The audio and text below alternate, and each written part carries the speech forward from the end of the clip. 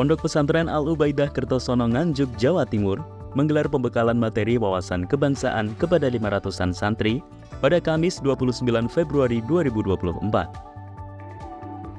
Kasubdit Sosbud Direktorat Intel Kampolda Jatim, AKBP Agus Prasetyo, menjadi pemateri dalam acara tersebut. Agus Prasetyo, SHM Hum, Kasubdit Intel Polda Jatim. Pada kesempatan itu, AKBP Agus Prasetyo mengapresiasi Ponpes Al-Ubaidah dalam menggelar kegiatan tersebut.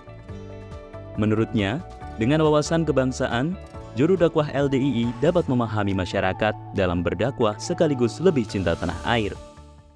Bahwa generasi muda ini e, harus banyak diberikan wawasan kebangsaan karena di dalam wawasan kebangsaan itu terdapat intisari yaitu kita menjadi lebih cinta kepada bangsa Indonesia lebih sayang kepada bangsa Indonesia dengan segala uh, tradisi maupun keberadaan di bangsa Indonesia. Kalau kita tidak diberikan uh, semacam wawasan, maka kita bisa terbawa arus ke mana-mana. Kalau arusnya jelek, ya kita bisa membawa uh, dampak itu kepada santri-santri kita di lapangan. Tentunya kita arahkan agar generasi uh, muda LDI, khususnya Mubalek maupun Mubalek itu menjadi orang yang lebih cinta kepada bangsa Indonesia dan bisa membawa adik-adik santrinya ke arah itu.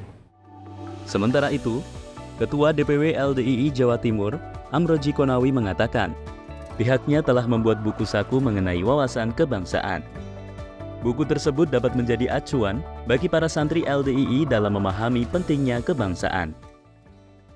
Mereka ini akan memberikan uh, menjadi sebuah perubahan di sana. Oleh karenanya harapan kita yang disampaikan ke sana ya di samping ilmu agama Al-Quran dan Sunnah Rasulullah SAW, mereka juga memberikan sebagaimana Pak Agus sampaikan tadi cinta terhadap Indonesia Nah, karena kemajmuan yang ada di Indonesia ini, maka kita juga bisa menghargai agama satu dan lainnya. Bukan hanya ke ormas Islam satu lainnya saja, tapi dengan agama lain. Bagaimana kita ketahui sendiri bahwa di Indonesia ada Islam, ada Kristen, ada Hindu, ada Buddha, ada Konghucu, ada bahkan keyakinan.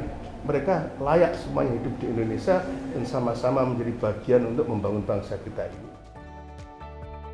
Materi wawasan kebangsaan diharapkan dapat membuka pemahaman para santri mengenai keindonesiaan.